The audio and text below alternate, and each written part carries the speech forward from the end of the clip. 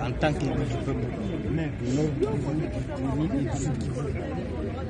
notre indignation consiste à dire au président de l'Assemblée nationale qui a présidé la séance qu'on ne traite pas un malade sans l'entendre se plaindre. On nous interdit de nous plaindre, nous qui subissons la guerre. Et c'est ici le moment de dire au président de la République qu'il a intérêt de nous écouter pour que cette guerre prenne fin. Si aujourd'hui vous alliez à Nitouri, au nord Kivu et même au sud Kivu, vous organisez un référendum par rapport à l'état de siège, 100%, ça sera non à l'état de siège. Mais s'il organise un référendum, fermons les, frontières avec le Rwanda, ça sera 100% oui pour la, fermeture des frontières avec le Rwanda. Et nous, insistons que même dans les négociations qui se tiennent, que ce soit à Luanda, que ce soit à Nairobi ou ailleurs, quand nous voyons les délégués qui nous représentent comme République démocratique du Congo, sans la présence des leaders de l'Ituri, du Nord Kivu ou du Sud Kivu, nous sommes indignés. Et pour mettre fin à ce clivage, nous insistons que dans les jours qui viennent, si on ne nous écoute pas, notre présence ne se justifie plus au sein de cette Assemblée nationale. L'Assemblée nationale n'est pas une caisse de résonance de qui que ce soit. Tout ce que nous réclamons, que nous soyons écoutés.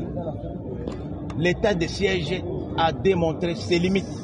Aucune ville n'a été récupérée depuis que l'état de siège existe. Et c'est malheureux que lorsqu'on présente une proposition de loi, on ne donne pas l'occasion aux députés que nous sommes de pouvoir en discuter. Ça, nous disons non. Nous sommes des élus, nous ne sommes pas des garçons ou des filles de course de qui que ce soit. Tout ce que nous demandons, qu'on puisse nous écouter. Nous avons été envoyés ici pour ça. Et si cela continue, continue, nous n'allons pas attendre que l'agresseur arrive ici à Kinshasa, nous prendre un sandwich, nous irons là-bas nous battre, puisque c'est pour ça que nous sommes ici. Merci. En 2021, et depuis ce temps, il y a eu plusieurs assises où il a été demandé qu'on lève l'état de siège. À l'Assemblée nationale, le 29 septembre 2021, nous avons voté une résolution pour lever l'état de siège. Ça n'a pas été respecté. Il y a eu un dialogue où on a appelé tous les dignitaires des deux provinces pour lever l'état de siège. Et tous ont demandé qu'on lève.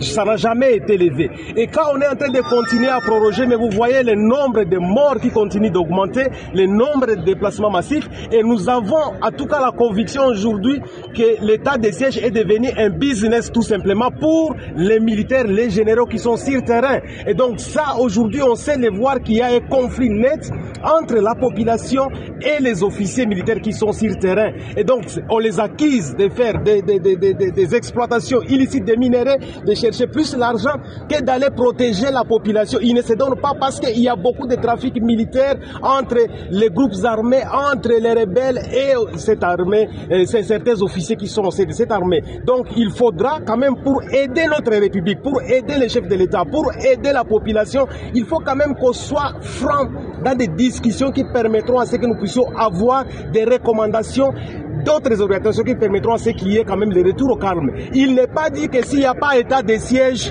le pays ne va pas combattre. Nous avons l'armée qui est toujours disposée à combattre.